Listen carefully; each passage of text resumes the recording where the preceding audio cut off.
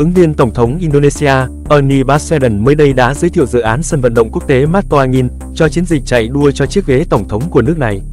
Dự án được nhen nhóm khi Ernie Baswedan gặp gỡ đại diện nhóm cổ động viên PSM Makassar vào ngày 18 tháng 11 năm 2023.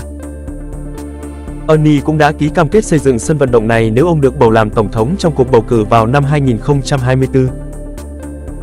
Sân vận động mới nếu được xây dựng sẽ đạt tiêu chuẩn của FIFA và là một sân vận động dành riêng cho bóng đá.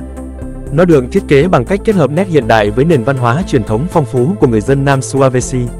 Một trong số đó là sử dụng khái niệm công trình xanh.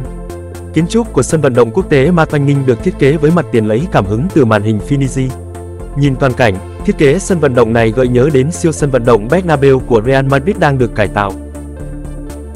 Các đường ngang bao quanh mặt tiền của sân vận động khẳng định một nguyên tắc của kiến trúc hiện đại sẽ tồn tại cùng với thời gian. Hình dạng cong được lấy cảm hứng từ sóng biển và chuyển động của gió tạo ấn tượng về một tòa nhà khí động học. Các họa tiết quần áo truyền thống của Nam Sulawesi cũng sẽ xuất hiện trong thiết kế của sân vận động này. Hệ thống giao thông thông minh và tiện lợi sẽ được kết nối mạnh mẽ với sân vận động này. Với tổng sức chứa 41.800 chỗ ngồi, nó có thể tổ chức các trận đấu ở cấp độ cao nhất của FIFA, bao gồm cả World Cup. Dự án sẽ thúc đẩy tăng trưởng kinh tế của thành phố Makassar và được kỳ vọng sẽ cải thiện phúc lợi cho người dân.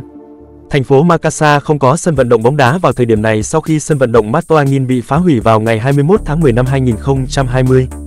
Sân bóng mới dự kiến xây dựng ngay trên nền sân vận động cũ, với thời gian thi công là 3 năm.